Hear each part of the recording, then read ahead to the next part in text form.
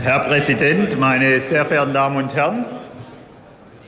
UN-Generalsekretär Guterres hat in seinem Bericht an den Sicherheitsrat der Vereinten Nationen vom 14. März 2019 die Lage im Libanon als zwar grundsätzlich ruhig beschrieben, gleichzeitig aber auch auf die Risiken im Zusammenhang mit der UN-Mission hingewiesen.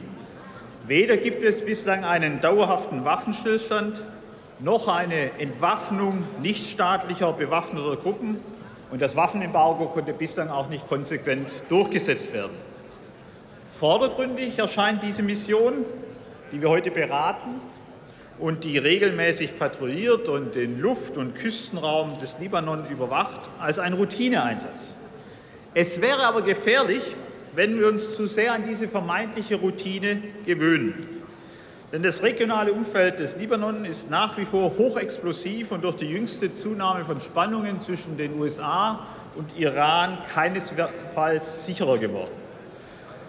Ein militärischer Konflikt zwischen USA und Iran hätte zwangsläufig Auswirkungen auf den Libanon und könnte auch den Konflikt zwischen Hisbollah und Israel wieder anheizen. Nicht nur, aber auch aus diesem Grund, weil es eben auch immer um die Sicherheit Israels geht, ist eine weitere Eskalation im Konflikt zwischen den USA und dem Iran abzuwenden. Und deshalb war es gut und richtig, dass der UN-Sicherheitsrat auf seiner Sitzung am vergangenen Montag alle Akteure zu maximaler Zurückhaltung und zu Maßnahmen und Aktionen aufgefordert hat, die Eskalation und Spannungen mindern und Meinungsverschiedenheiten auf friedliche Weise und durch Dialog zu klären. Und deshalb, meine sehr verehrten Damen und Herren, hat die Bundesregierung und hat insbesondere Außenminister Heiko Maas, der in enger Abstimmung mit unseren europäischen Partnern die Region bereist hat, um das europäische Interesse an einer friedlichen Lösung zu untermauern, hat Herr Heiko Maas unsere volle Unterstützung. Und bereits heute wirken sich die Konflikte auch auf die Arbeit von UNIFIL aus. Die Entdeckung von mehreren Tunneln im Dezember 2018, die Richtung Israel gebaut wurden und die sogenannte Blue Line unterwandern sollten, zeigt das allgegenwärtige äh, hohe Konfliktpotenzial auf. Die Hisbollah und andere Milizen verfügen nach wie vor über beträchtliche Waffenbestände. Und deshalb halte ich für unsere Fraktion fest, wir sind besorgt, zutiefst besorgt über das aggressive Verhalten der Hisbollah in der Region. Und unsere Position ist klar, eine militärische Rolle für die Hisbollah, sei es in Libanon oder in anderen Regionen, kann es nicht geben. Und das machen wir gegenüber allen libanesischen Gesprächspartnern auch unmissverständlich klar. Denn Deutschland und die EU haben größtes Interesse daran, in einem äußerst unruhigen regionalen Umfeld Libanon stabil zu halten. Terroristische Aktivitäten sowie Waffenschmuggel durch Syrien in von der Hisbollah kontrollierten Gebieten gefährden diese Stabilität, ebenso wie das Engagement der Hisbollah an der Seite des Regimes im Syrienkrieg seit 2013. Und übrigens setzt sich damit Hisbollah auch über die in der Erklärung von Babda 2012 von allen libanesischen Parteien getragene Politik der Dissoziierung, also der Abstandnehmung vom Syrien-Konflikt hinweg. Die Mission selber ist seit 2006 am Laufen. Die deutsche Marine unterstützt im Flottenverband unter UN-Führung die sogenannte Maritime Task Force, MTV. Und neben der seeseitigen Sicherung des Waffenstillstands und der Überwachung des Waffenembargos in ihrem Einsatzgebiet soll diese MTF, MTF Ausbildungshilfe für die libanesische Marine leisten, mit dem Ziel, diese zu befähigen, in ihren Hoheitsgewässern selbstständig die Souveränität zu sichern.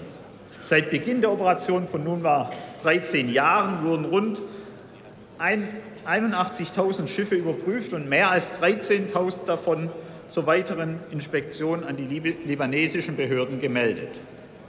Ziel der Mission ist und bleibt es, die Marinekapazitäten der libanesischen Streitkräfte zu stärken um langfristig die Sicherung des Küstenraumes an die libanesische Marine zu übergeben. Und diese Übergangsstrategie wird auch von den UN und von Generalsekretär Guterres unterstützt. Und deshalb steht die Unterstützung der libanesischen Marine zur eigenständigen und eigenverantwortlichen Sicherung der Seegrenzen inzwischen im Vordergrund des deutschen Einsatzes. Und im Ausschuss wurde berichtet, dass die Ausbildungsbemühungen Früchte tragen, hohe Anerkennung finden und dass inzwischen auch sichergestellt ist, dass die einmal ausgebildeten Kräfte auch dann tatsächlich von der Marine und nicht an anderer Stelle im Libanon von den Streitkräften eingesetzt werden.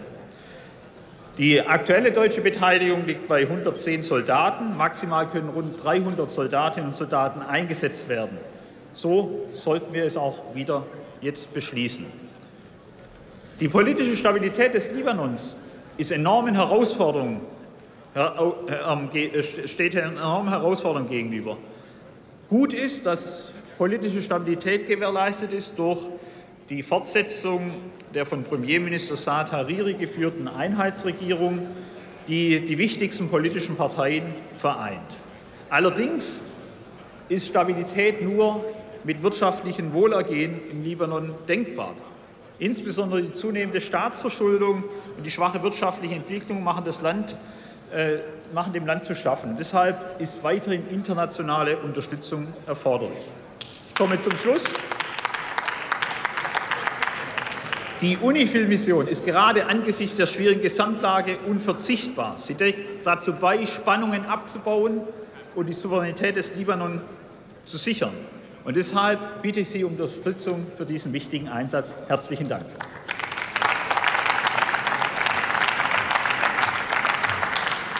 Bevor ich dem nächsten Redner das Wort erteile, gebe ich